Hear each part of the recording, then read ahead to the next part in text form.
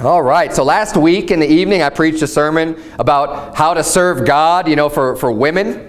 If you're a woman, you want to serve God. So tonight I'm going to be preaching a sermon for the men. And um, eventually, whether next week or, or, another week, I'm going to be teaching a sermon for children as well. And um, what I did last week and what I'll be doing again this week, we're focusing more on the verses that deal with specifically with men and women, whether it be men and women in general or husbands and wives. You know, we're going over these. And look, I know we've covered these topics recently and in other sermons. We've gone over a lot of this subject before in the past, but I think it's really important in the days that we live in because a lot of this has to do with the family. It has to do with the way that God has designed this. And we really need to make sure that we are in line with what the Bible says. Because when I specifically mention men and women, there are many things that we should be doing to serve God that everybody should be doing. It's not specific to men. It's not specific to women. It's not specific to children. You know, soul winning, for example, coming to church, reading your Bible, praying, all of these great things to serve God, to do what you should be doing in your life for God are all encompassing regardless of gender, regardless of, of age, you know, all of these different things. So what we're doing is looking at serving God and, and looking at the, the scriptures that apply specifically. Now you can be married, unmarried, doesn't matter as we look at these scriptures. And a lot of these um, for men, we're going to be looking at, you know, I know there's women here tonight, but um, there's still a lot to, to be gleaned from this stuff, even as you're a woman. And there's a lot of attributes that even if you're a woman, there's still good attributes to have. Okay, now, some of them are not going to be good for women to have. Some of them are specifically, very, very specifically for the men. You know, the leadership roles and some of those other things. We look at the scripture. Those are definitely geared towards men. But some of these, you know, the first verse we're looking at is verse number 2 in Titus chapter 2. This is, it's the Bible says that the aged men, so this is talking about older men, right? Older men in the church. This is what they need to be taught, that they be sober. Now, sober is one attribute that could be applied to men and women. But this is a teaching specifically for, for men here. We see in other, in other scriptures that, that women are taught to be sober also. But um, here that, that aged men be sober, grave. Now those two words are almost identical, right? Being sober and being grave is being serious. Being able to have a level of, of, seriousness to where not everything's just a joke. You're not just real flippant about everything and just nothing's a big deal.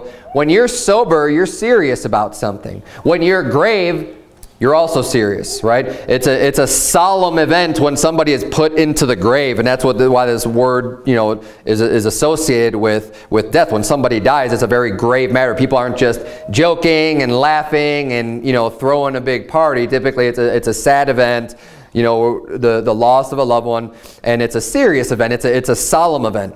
So to be sober and grave, you know, we need to be serious. And the aged men, the older men, definitely need to have that level of seriousness. Uh, after, after you've gone through being a child and being a young adult, you know, at some point you got to grow up. And you got to be serious. And it's, and it's a shame when you see this old men that just, they just never grow up at all and I'm not saying you can't have fun. I'm not saying, you know, that that's a sin. But you need to also be able to be sober and to be grave. Temperate. Being able to control yourself. And that's in all things, whether it be with anger, sadness, whatever it is, being temperate is being able to be in control under all kinds of different conditions. No matter what is being thrown your way, if you're temperate, you are controlling yourself sound in faith.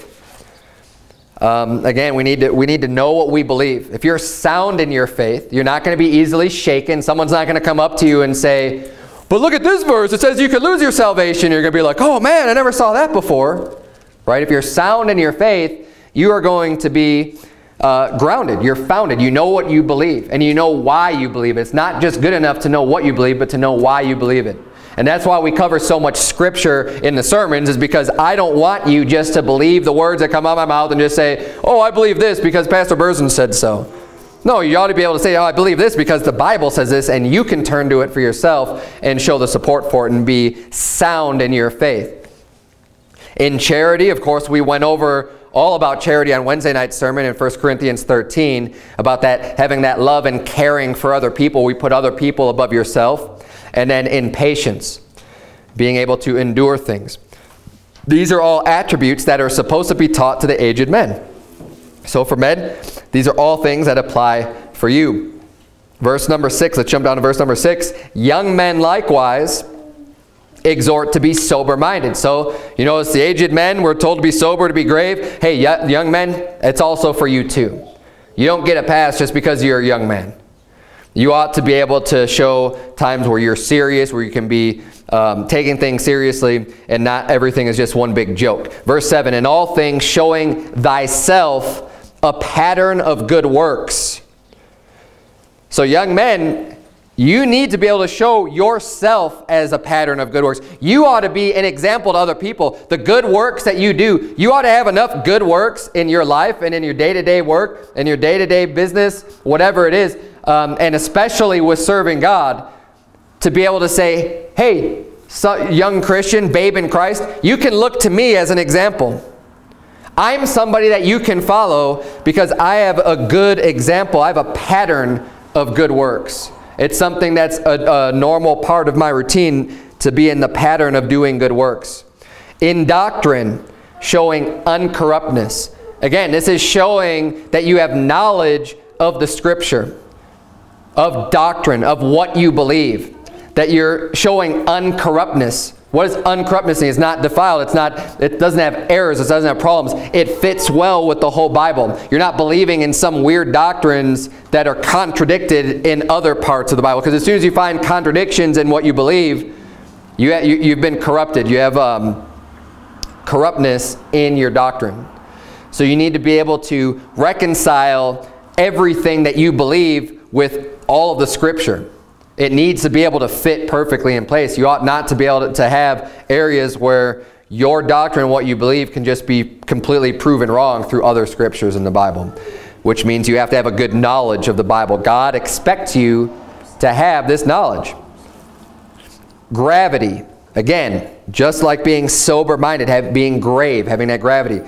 The old, the aged men as well as the young men need that same attribute. Sincerity right? It's, it's true from your heart. You're not, you're not faking it. You're sincere in your belief. You're sincere in what you believe, and it just comes through. It's actually in your heart. It's not just lip service. It's not just something that you know the answer to and you'll say the right things, but it's not actually in your heart. These are things that you say and you actually believe. Too many people go to church and they know what the right answers are and they know what people want to hear and they know what people expect them to look like and they'll go and play the charade and they'll play the little church game and they'll go and, and, and show up, they'll do their thing and then they'll go home, but it's not really in their heart. God says, I want you to be sincere. This needs to be from your heart. Otherwise, you're just going through motions. Then, and otherwise, it's just being something that's religious for you as opposed to something that you truly believe. Let's look at our next verse. Verse number 8.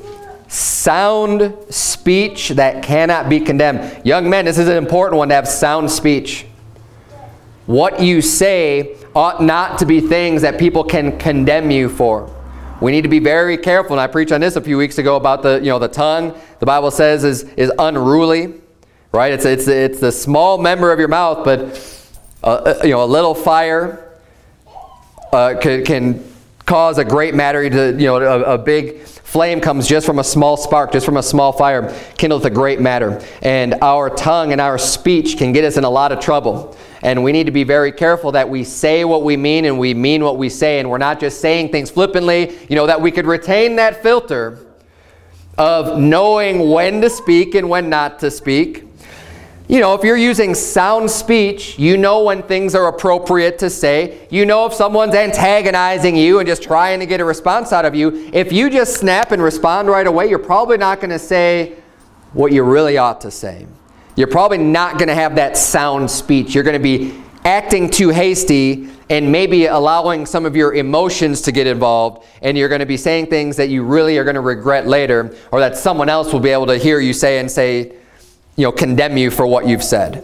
And rightfully so because you didn't have that proper filter, because you are not making sure that you have sound speech that cannot be condemned.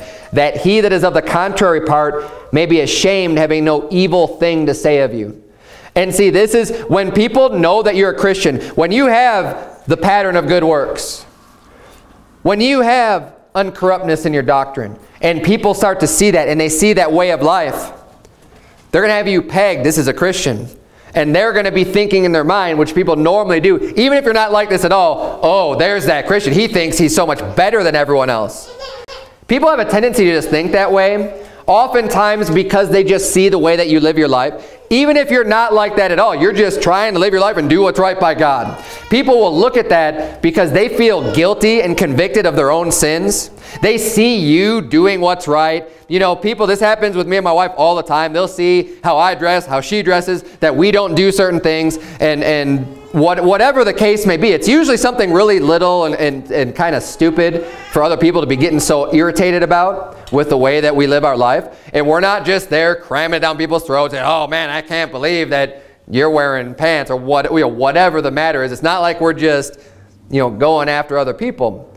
But their perception of us, and just because we're doing this, you know, we, we do what we're trying to do. We, we, you know, we preach the word. We preach salvation to those that need it. But we don't just go into all kinds, all kinds of other doctrine with people who are unsaved.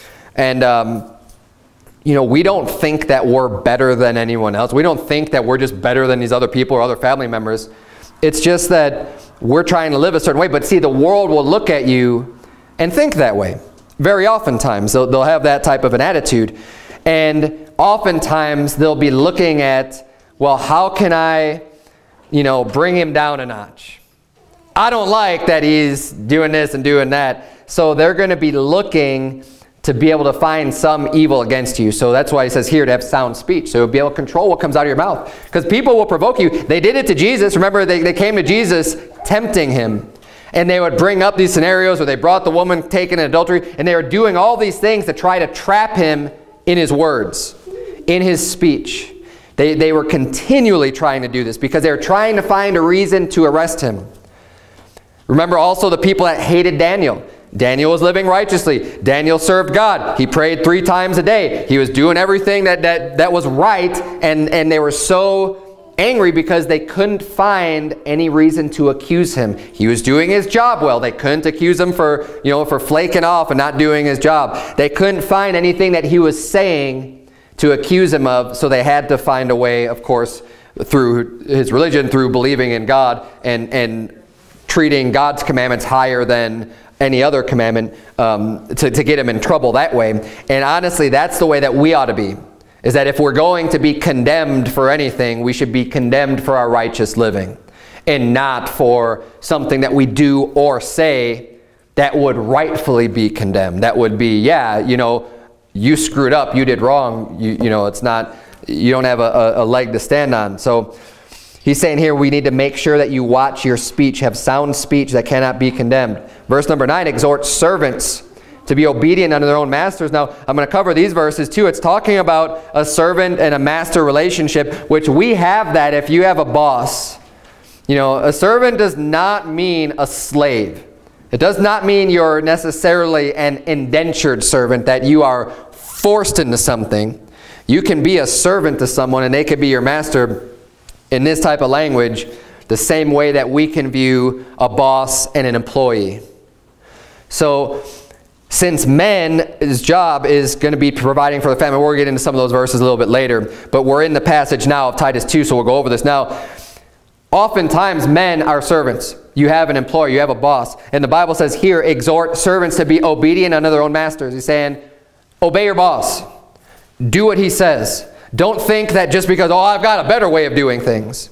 And look, this goes for anybody under obedience. Just because you think you have a better way of doing things, it is not right to contradict your authority, to just go against what they have said. And men, you have bosses, they tell you to do something. I don't care if your way is way better. If he tells you to do something, you ought to be obedient unto their own masters. It says, and to please them well in all things, not answering again, not talking back to the boss right? Saying, oh man, but if you, you know, that way is so stupid or whatever, and, and just going off on whatever your boss just told you to do. Now, being a servant and being in obedience to somebody else requires humility. It requires humility. And this is something I hope everybody can take this, that this isn't just for the men. Now, in this application, it's for the men with their masters, with their bosses, if you have one. But anybody who is to be obedient to another person needs to take heed to this, that we are all obedient unto, our, unto the person who has our authority and please them well in all things, not answering again, not purloining, but showing all good fidelity. What's a fidelity? It's being faithfulness, right? You're being faithful to what they say.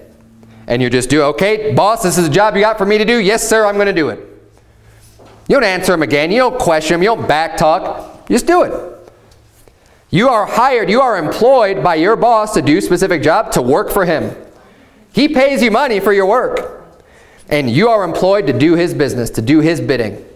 That's what you sign up for. You'll be like, oh, that's not in my job description. I'll say, look, if your boss is telling you to do it, it's in your job description. It's what you're supposed to be doing. That shows a lack of humility when you say, I, am not going to do that. And this has come up even in my own, in my own workplace.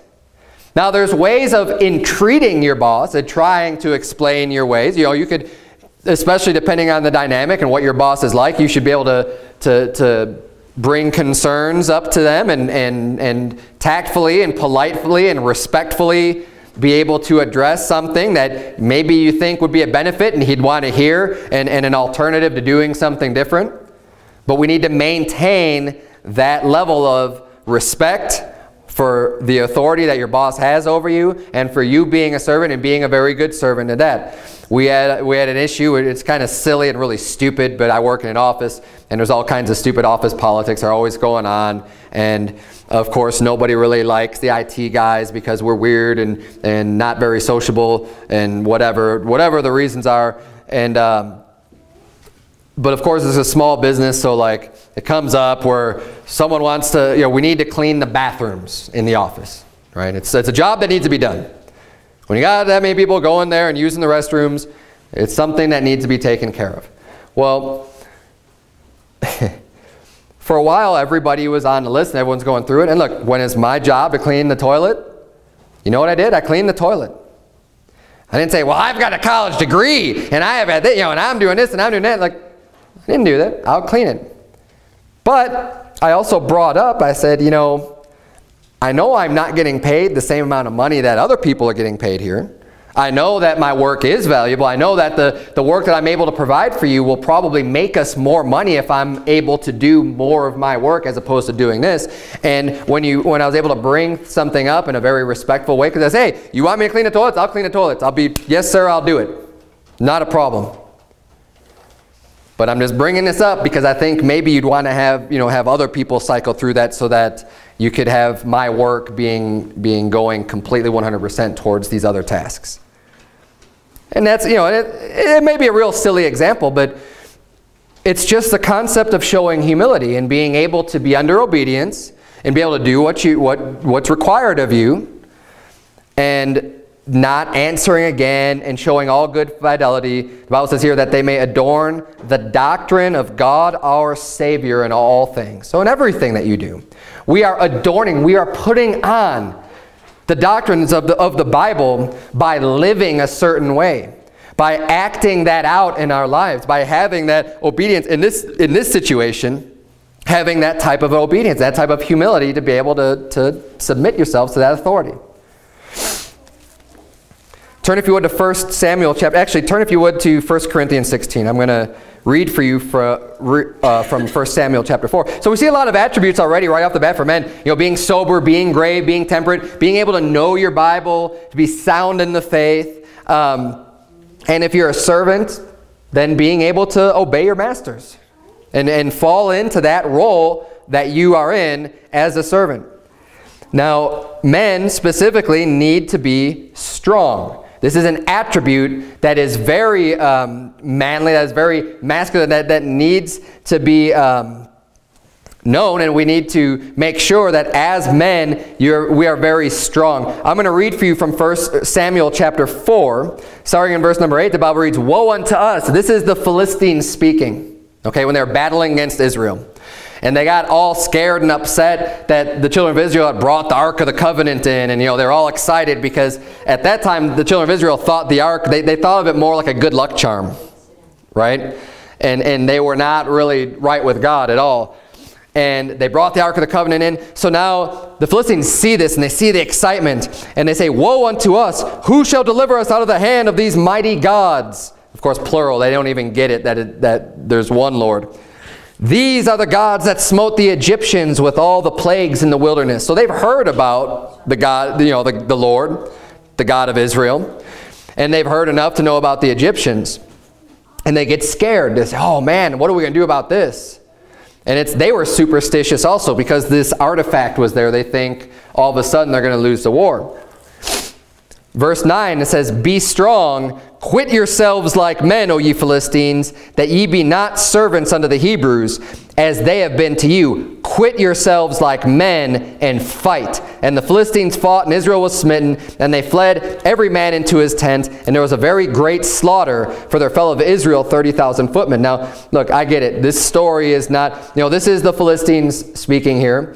This is an ungodly heathen nation using this phrase. But I'm going to show what I'm going to show you in 1 Corinthians 16 if you're there is that this actually this be strong and quit yourselves like men. There's basically what they're saying is, you know, stop acting like a little girl. Act like a man. You know, be strong.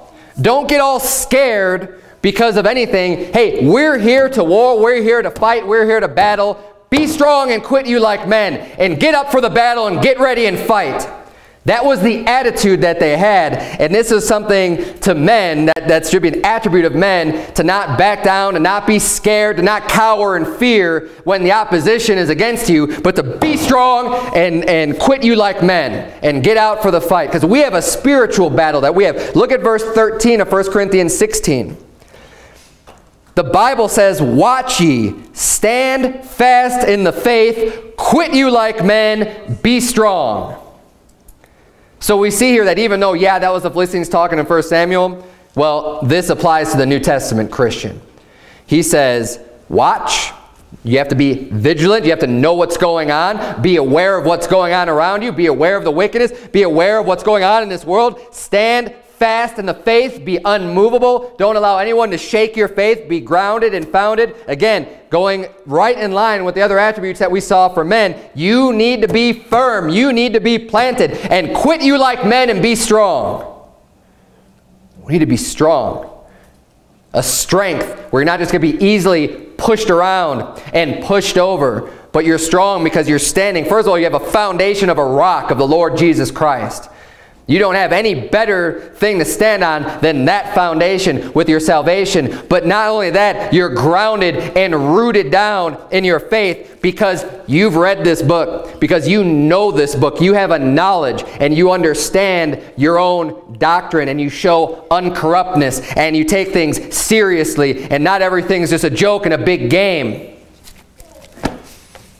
And you can quit you like men and be strong in the face of opposition. That's why we send men out to war. That's why we should. And not just be sending women out to war because women don't have the strength that men have. Women are to be strong in their own regard.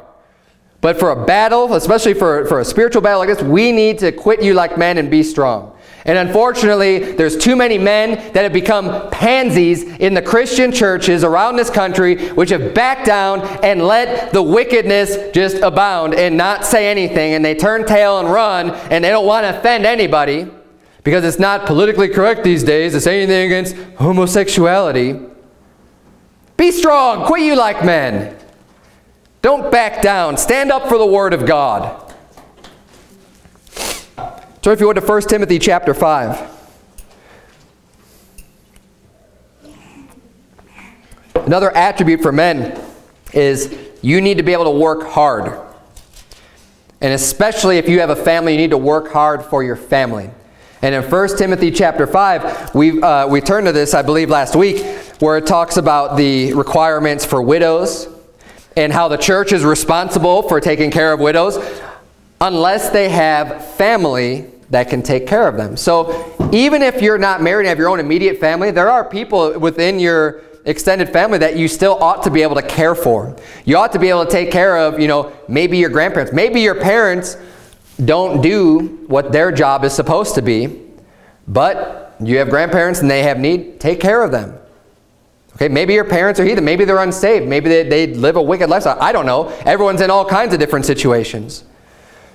But this isn't only just applying to a man in his, in his own personal immediate family when, when I'm talking about men working hard and being able to provide. Because you ought to be able to care for your own and care for your family. Especially if someone becomes a widow. But look at verse number 8 here.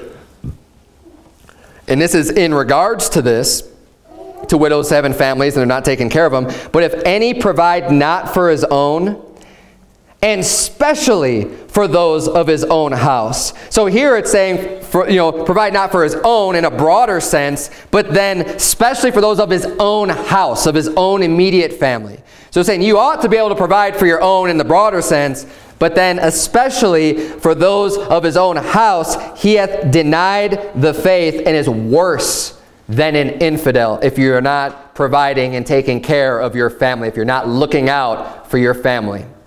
If you are not working and able to provide to help out your family that's in need, to your, and especially your immediate family, men, deadbeat dads that don't go out and get a job, that just sit and collect welfare on the couch, and they're barely able to get anything done for their family, get off your rear end and get out there and get a job and work hard, because that's what men are supposed to do. You are worse than an infidel. You are worse than an unbeliever who's going to spend an eternity in hell if you can't provide for your own, get up and get a job.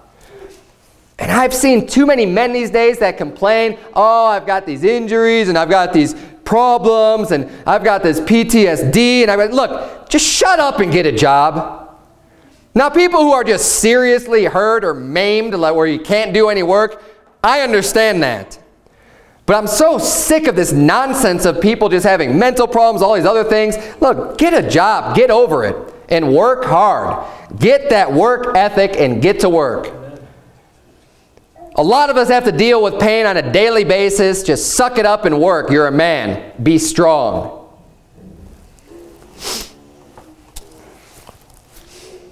Flip over to 1 Thessalonians 2, just uh, to the left, backwards in your Bible, a few pages. 1 Thessalonians chapter number 2.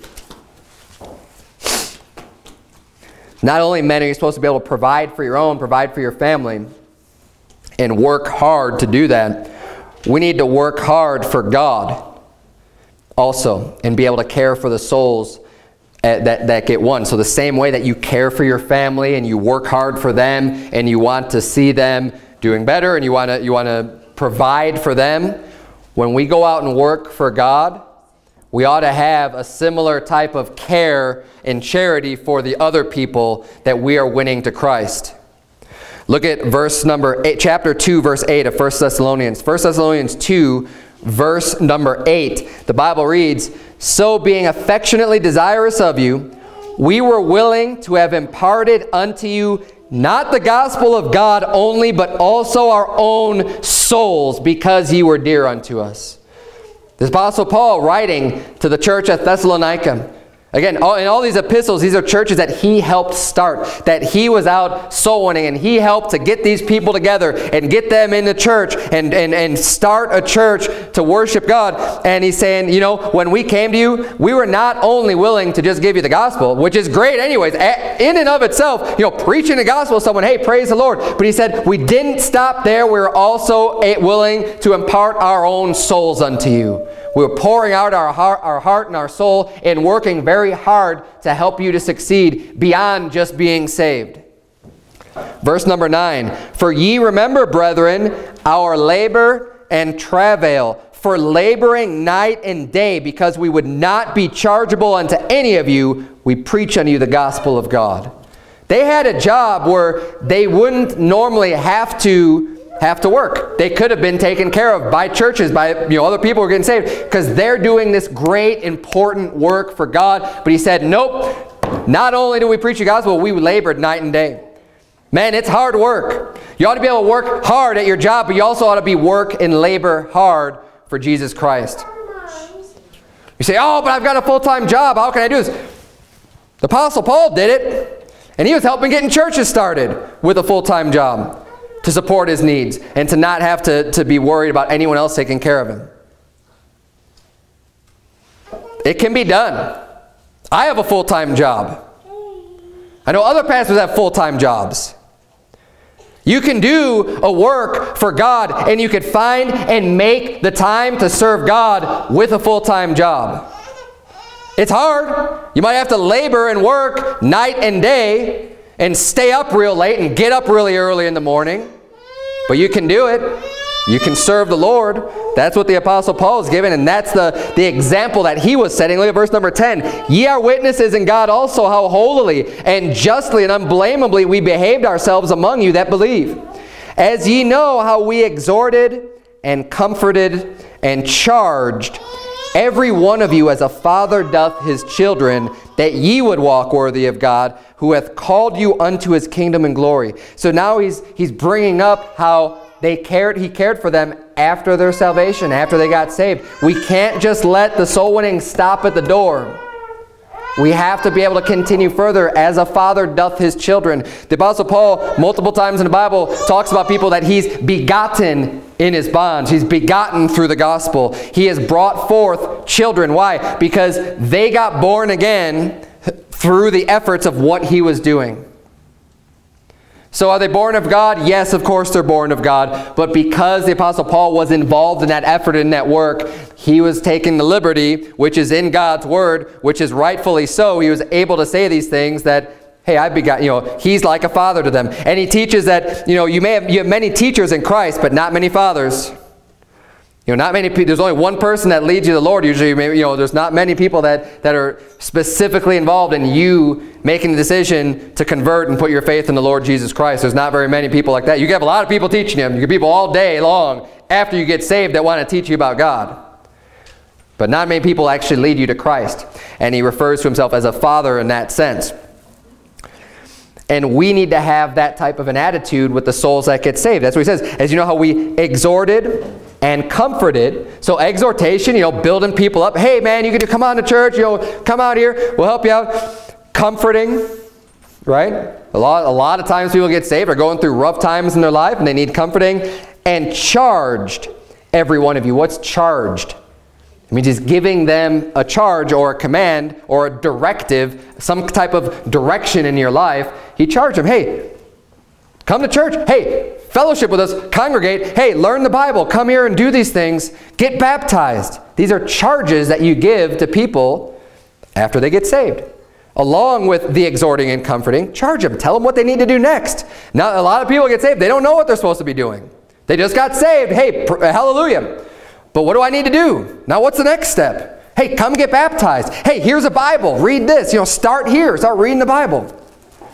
Charge them. Give them, give them direction. As a father doth his children. That's what, that's what fathers do. I give my children direction. I love them. I comfort them. I try to edify them and you know, do all these things. This is the same type of an attitude we need to have for people that get won to Christ. Why? So that they can walk worthy of God.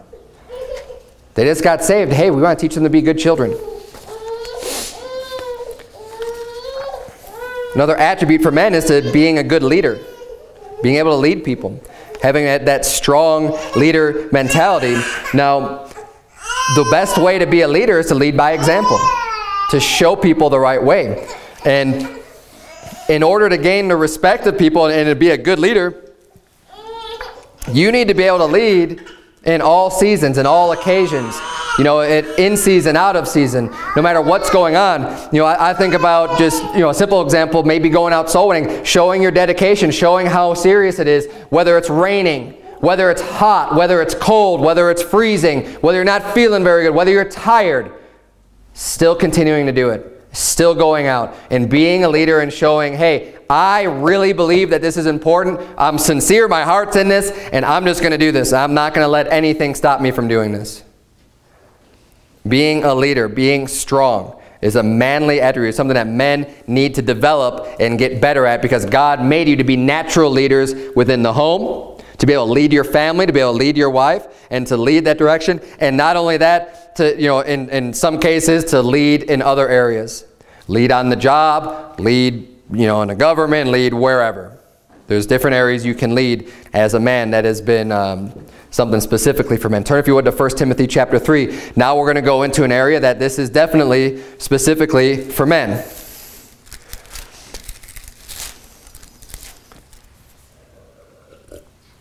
We're going to see about, we're going to read about bishops and deacons. These are offices within the church that is specifically given unto men. And there are certain attributes. Now look, verse number one says, This is a true saying, if a man desire the office of a bishop, he desireth a good work.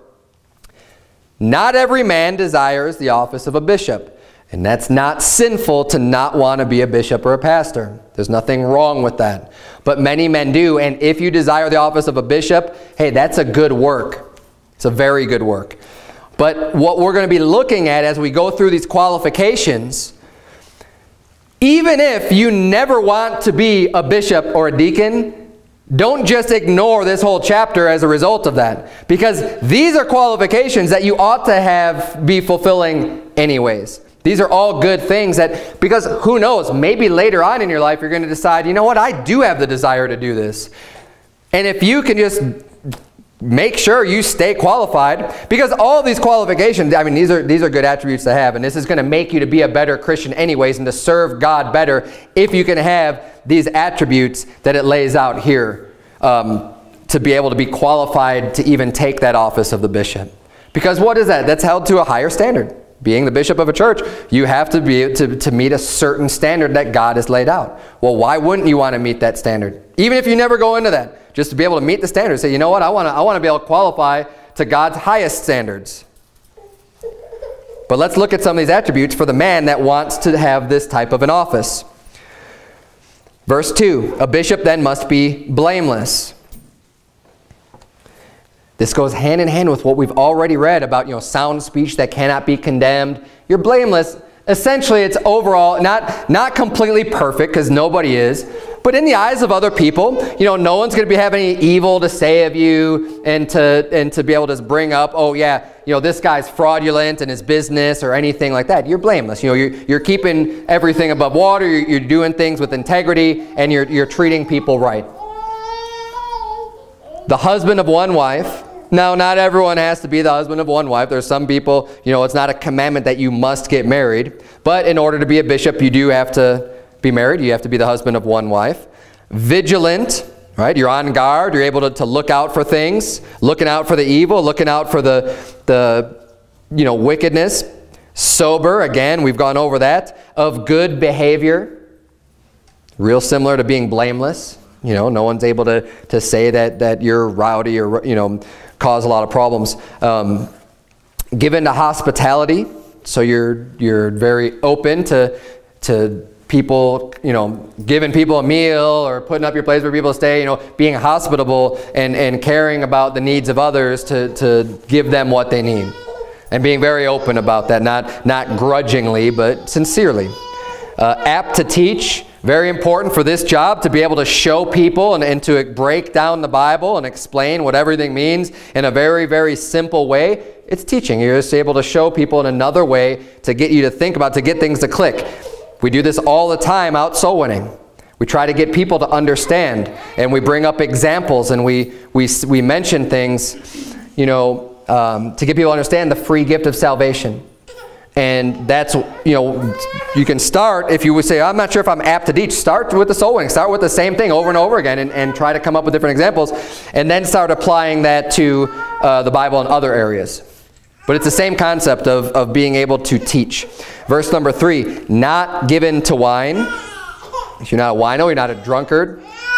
No striker, right? Not someone who gets into fights. You know, striker means to hit. So you're not someone who's just, you know, provoked and easily provoked and just, you get into fights. You know, there's some guys that just, they just go out looking for trouble. There's some guys that, you know, you step on their toe and they're going to be swinging. If that's you, you, you know, and you want to be a pastor, you need to change that. And if that's you and you don't want to be a pastor, you need to change that. You ought not to be a striker that's just anything sets you off and you're just getting into fights. You need to have the temperance. Not greedy of filthy lucre. Very important for this job of being a pastor, not to be greedy, not to, to be covetous over getting financial wealth, over gain. Because obviously you're, you're dealing and administering the, the, the money that comes in and you're preaching a message that a lot of people aren't going to like sometimes. And if you're greedy for the money, you're going to be more in the business of tickling ears than preaching the Word of God because you're not going to want the money to go away. But again, if you, even if you don't want to be a pastor, you shouldn't be greedy. You shouldn't be envious. You shouldn't be looking to, to just make a lot of money. Here it's a, uh, continuing on here, verse 3, but patient, not a brawler, not covetous. Verse 4, one that ruleth well his own house, having his children in subjection with all gravity. One of the qualifications to be a pastor is someone that's able to rule his own house. So this is showing here that in order to show that you have this attribute, you need to have children. So you need to be married, you need to be husband of one wife, and you need to have children in order to prove, in order to show that, hey, here's a man that knows how to run his house. Here's a man that has his children. When he says something, they listen. They respect him. And they can behave themselves because they're in subjection with all gravity. Gravity means seriousness. You know, and dad could have fun with his kids, but then when, it, when the seriousness comes on, when it's time to be sober, you know, and you flip the switch and say, okay, time to be good, and your kids listen to you, then that is the, the man that's going to be qualified to be able to pastor a church because it says here in verse 5, For if a man know not how to rule his own house, how shall he take care of the church of God? Because there is a ruling going on within the church of being able to tell things, tell people to do things and be able to lead and be able to show people what they need to do. It's, it's on a greater scale of something similar that you do within the home of leading within the home, of, of telling your kids to do things and they listen to you, and um, keeping everything under control. That is an attribute that needs to be had in order to pastor church. Verse number six, not a novice, lest being lifted up with pride, he fall into the condemnation of the devil. Not a novice, is a beginner, someone who just, just new to this thing. Oh yeah, I don't really know. Where is this in the Bible? I don't know. You need to be able to, to be grounded and founded and not just some beginner, but someone who has put forth a lot of work and has been recognized as someone who is, um, who's done a lot of work. Verse number seven. Moreover, he must have a good report of them which are without, lest he fall into reproach and the snare of the devil. Look, this has already been mentioned before about being blameless and of good behavior. This is a pretty important quality to have that people can look at you in other areas, maybe on the job, maybe anywhere else, that you have a good report. That people can speak of you well and not speak of you, oh man, that guy, yeah, he, he does this and he does that. Because then you could fall into reproach and the snare of the devil. Verse 8, likewise, now this is, that was all for the bishops, for the pastors. Likewise must the deacons be grave. Same attribute, we're not going to go over that again. Not double-tongued Right? Speaking out of both sides of your mouth. Saying one thing and doing another, or saying two different things and being contradictory. Not given to much wine, not greedy of filthy lucre, a lot of the same attributes, holding the mystery of the faith in a pure conscience. And let these also first be proved, then let them use the office of a deacon being found blameless. So the Bible's saying here that all these attributes are not something that you discover later on. Oh, well, it's a good thing he fits the bill after you put someone in charge of a church. And that's one of the things that I don't really like about, you know, when churches lose a pastor, and then they kind of shop around for a new pastor. And these, these guys come in, and it's like they bring a resume, and then they like preach for a service or something, and then they're gone. How do you really know that a man has, you know, his family is in subjection to him and, and some of these other attributes that you kind of have to know someone a little bit more to, to really know if they're fitting the bill. And that's why I believe that, that replacement pastors, pastors ought to be coming up from within the church. And if it's not happening within the church, you got a problem because that pastor then has not done his job in teaching others to do likewise, to do the same thing that he does. See, my goal is for all the men in this church to be able to do the same thing I'm doing, regardless of if they ever pastor a church. My goal is to get them to that level to be able to, to you know, lead, lead singing, preach sermons, you know, go out soul winning, lead soul winning, have responsibility, and do everything on their own because those are all great attributes to have, and you can serve God better when you have all of those skills. The more skills you have, the more you can be used of God. And these types of people ought to be coming up from within the church. And when the pastor, it's time for them to, to retire or they pass away or whatever happens, and they need to be replaced, then you shouldn't have to shop around. You could say, hey, the church can go, here's a guy that fits the bill. He's been here all along. Praise the Lord, we've got someone to pastor the church now.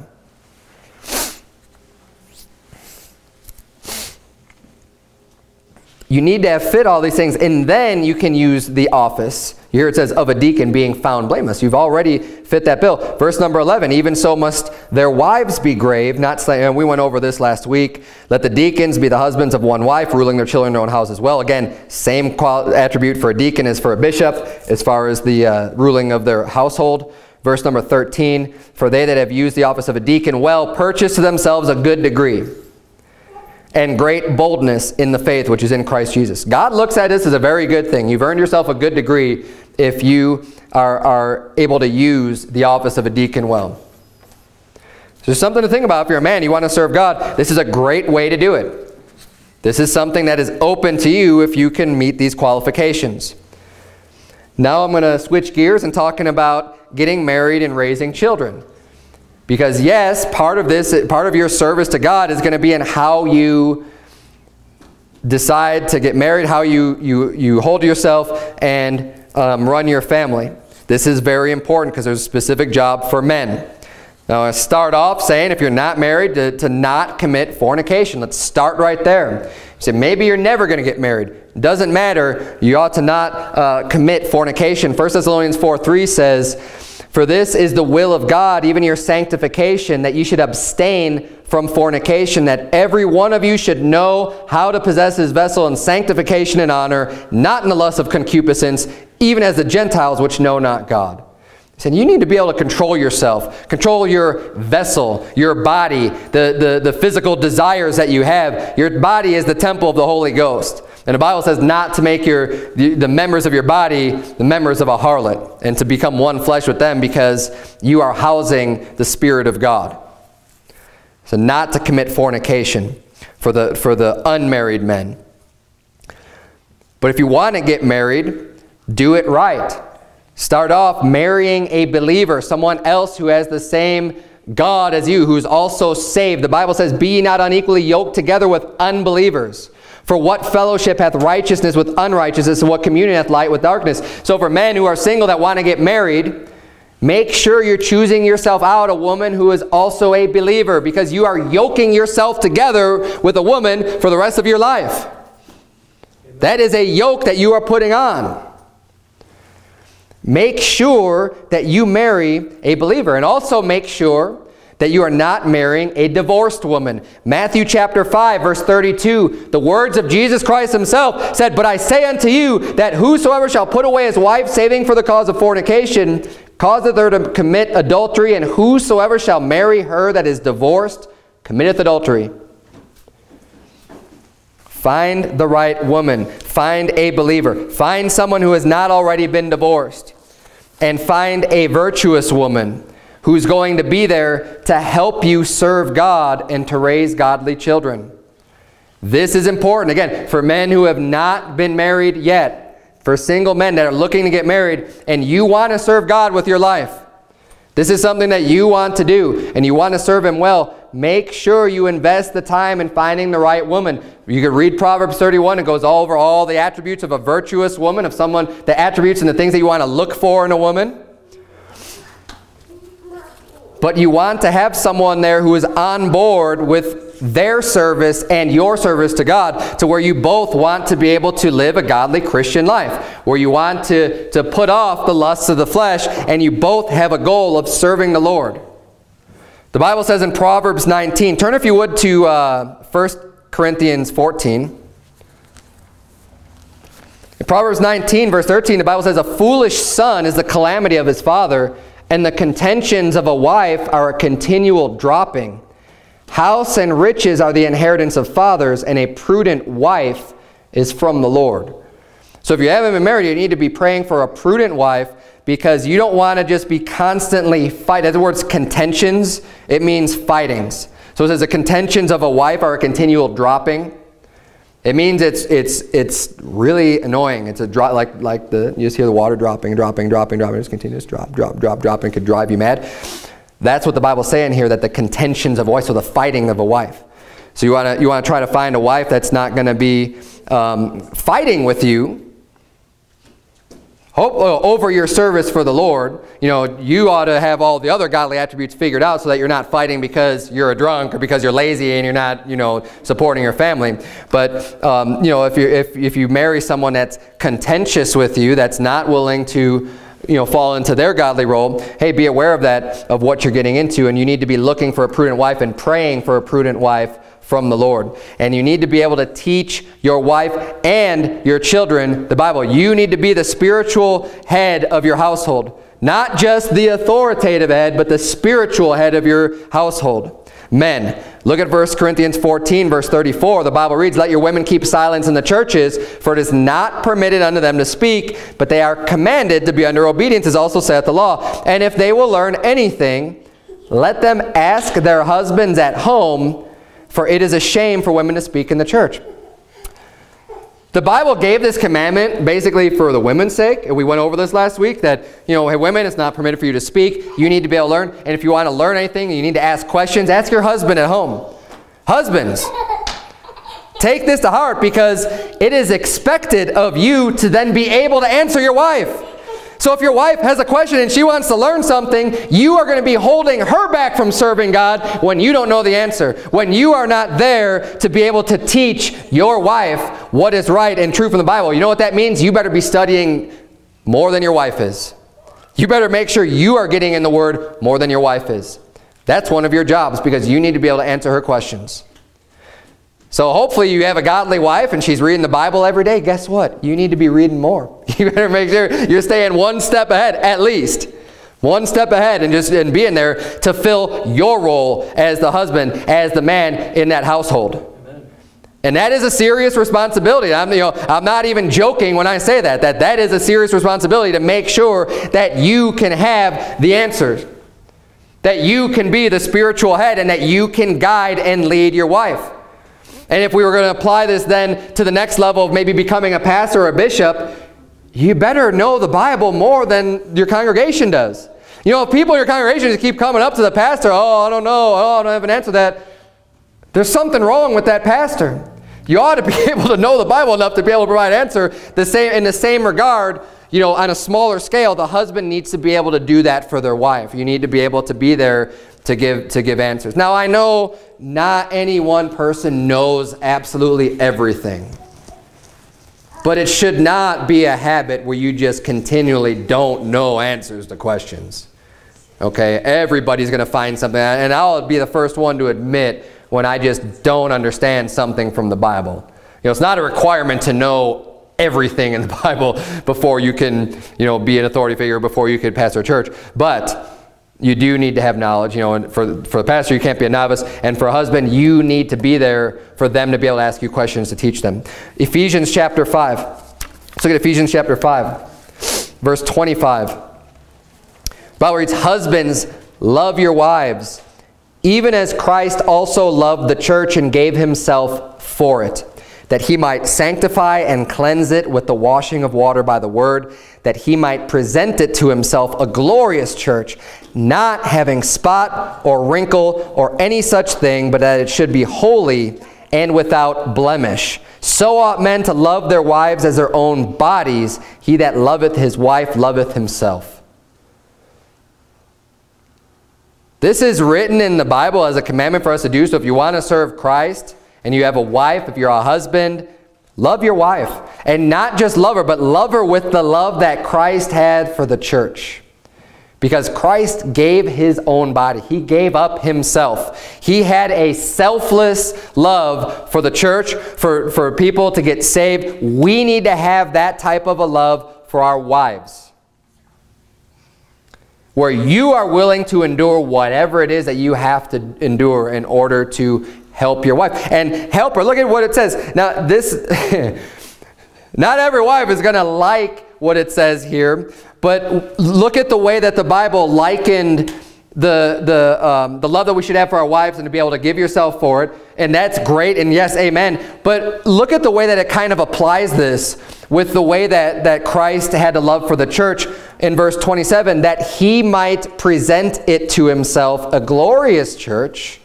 So Christ did all of this for the church so that he could present it a bride for himself that is glorious. It says, not having spot or wrinkle or any such thing but that should be holy and without blemish. So no blemish is no, no, no bad marks. And a husband ought to love his wife enough to help her to get to a more spiritual life where there's no blemishes and no, you know, and, and, and, and problems there and, and glaring problems that we need to be able to um, love our wives enough to invest time in them and to help them to also grow and, and to, um, you know, be here without spot, without blemish. It says, so ought men to love their wives as their own bodies. He that loveth his wife loveth himself. Now, also, I know that the man, the husband, is in charge and has the authority. But when we're looking at the way that Christ gave himself, for his church to, to, to grow, we ought to look to his example in the way that he led in order to help our wives also to grow and, and you know, become without blemish. So it's not, Christ didn't rule with the heavy-handed, you know, you must do this, you know, like, like what, whatever it is that you're trying to help your wife with. He didn't have that heavy hand. But there's encouragement. There's a lot of words Christ used, you know, to, to, to give them, you know, to, to, to have freedom to do things, right? But um, teaching and admonishing um, in, in, a, in a loving way. Turn, if you would, to Deuteronomy chapter 6. Because that's loving your wife and being able to, to teach your wife. But we need to be able to teach our children also as fathers. No, I believe the majority of, of teaching that goes on in general in the household is going to be from the mother to child because the, the, the husband's going to be off working and the, and the mother's going to be raising the children. And raising means teaching and training. But it does not say, you know, that does not absolve teaching from the father. Deuteronomy chapter 6, verse number 6 the Bible reads, in these words which I command thee this day shall be in thine heart. So we need to know the words of God. You to keep them in your heart. These words should be in your heart. Verse 7, And thou shalt teach them diligently unto thy children, and shalt talk of them when thou sittest in thine house, and when thou walkest by the way, and when thou liest down, and when thou risest up, and thou shalt bind them for a sign upon thine hand, and they shall be as frontlets between thine eyes, and thou shalt write them upon the posts of thy house and on thy gates. One, having that type of a love and dedication to God's Word and just, just basically have it a major part of your life. It's all over the place. It's in your house. It's in front of your eyes all the time. You're talking about it with your children and teaching them diligently. When you're going on the car ride, when you're, when you're walking around, when you're doing different things, when you wake up in the morning, when you go to bed at night, you're talking about the Word of God. And you're teaching diligent. You're, you're making sure, you know what, I need to make sure. I need to make sure that my kids know about God. I need to make sure they learn the right things. I need to make sure they're learning the truths from the Bible. And you're diligent about it. And that is a responsibility that ultimately the buck stops with you, Dad. You could say, well, my wife's not doing her job of teaching. Well, the buck stops with you. You're the leader. If she's not doing her role, you got to figure out a better way to lead then. Because ultimately, you are going to be have that responsibility. You can't just pawn everything off. Now, ladies, just because I said that doesn't mean, yeah, it's my husband's fault. You know, you get, you get yourself in line, in, in, in line with what God has for you to do. But husbands, you know, you are there to be a leader. And a good leader will make it easier for people, for, for your wife to, to follow, or for anyone to follow. A good leader, will, it's easy for people to follow a person like that because they are showing the way, they are serving, they're doing a lot of other things um, besides just being in charge. Last place we'll turn, Matthew chapter 6. The last thing I want to just emphasize here before we're done talking about the men and serving God. Matthew chapter 6, because we've talked over and over again how important it is for men to work hard. We've talked about how you need to provide for your family. You need to make sure their needs are met. You need to do all these things. You need to work really hard, work hard to study, make sure you're, you're you know, you're, and think about all the things that you're in charge of. Hey, you need to be a good leader for your wife. You're going to be leading by example, right? You need to make sure you're teaching your kids. You need to make sure you're working and earning enough. You need to make sure you stay ahead of your wife's learning of the Bible so that you can answer her questions. That's a lot of work for you to do, man. You might have to lose a little sleep over in order to accomplish all these things. You know, women say, oh man, if I were just in charge, well, you'd have all these responsibilities then. It's a, it's a big task to be a good, godly, righteous man in serving him the way that he has laid out for you to do. That's why you need to be grave. You take it seriously. I mean, life's not a joke. Live, live your life, you know, God has you here for a reason. You have children, their souls are all so important. So important. Parents, you need to be realizing that every single day and, and making sure that we're investing the time that we need in them. Husbands, your wives are important. Invest the time. Matthew chapter 6, look at verse number 31. With all the work that we need to do, and especially when we're struggling to make sure that our, that our family needs are met, make sure, you better make dead sure that their needs are met. But also make sure that we don't take that too far to where, okay, the needs are met, but now you're starting to just accumulate and, you, and you're focused too much on working really hard and making money. It started off maybe for the right reasons of making sure that our needs are met, our health needs are met, you know, our food needs are met, that we're, I I'm getting this, you know, I'm, I'm working hard enough to be able to provide. And then you get so caught up in that work mode where you start working more and you're earning more money, earning more money, and you're focusing still a vast majority of your time. Now your needs have already been met, and now you're getting more comfortable, and, and you still stay on this one track of earning money. The Bible says in verse 31 of Matthew 6, Therefore take no thought, saying, What shall we eat, or what shall we drink, or wherewithal shall we be clothed? For after all these things do the Gentiles seek. For your heavenly Father knoweth that ye have need of all these things. But seek ye first the kingdom of God and his righteousness and all these things shall be added unto you. Take therefore no thought for the morrow, for the morrow shall take thought for the things of itself. Sufficient unto the day is the evil thereof. Have the faith to trust in God and to know that one way or another he'll provide. And try not to get too stressed out about it. Hey, if you're living a righteous life, if you are seeking first the kingdom of God and his righteousness, if you are putting that as the priority in your life, of saying, God, I want to serve you and I'm, I'm doing what I can to help you, God. I have mouths to feed. I've got a lot, and I only get paid this much and I'm not getting any raises. God, God knows. And he's telling us this because he's saying, you don't even have to stress about it. And I take care of the birds. You think I'm not going to take care of you? Don't worry about that. He says, don't worry about tomorrow. But I've got all these bills coming due tomorrow. If you're working, if you're doing what's right, if you're doing what God's laid out for you, don't have to worry about it. He'll take care of you. One way or another. And again, you know, people like to take that the whole opposite direction, the other extreme, and just sit on the couch and go, God's going to take care of me. No, you're doing what God tells you to do. You're working hard. You're providing for your family, and you are seeking first, above all those things, the kingdom of God and his righteousness. God will provide. He always does. He's true to his word. We could, we could trust Jesus' words here in Matthew chapter 6. Let's bow our eyes and have a word of prayer. Dear Heavenly Father, Lord, we thank you so much for the Bible. Lord, I pray that you would please help this church to be able to teach and to train up godly women, godly men, godly children, dear Lord. Help us all to learn our roles. Help us all to serve you more, dear God. Help us to get that extra knowledge.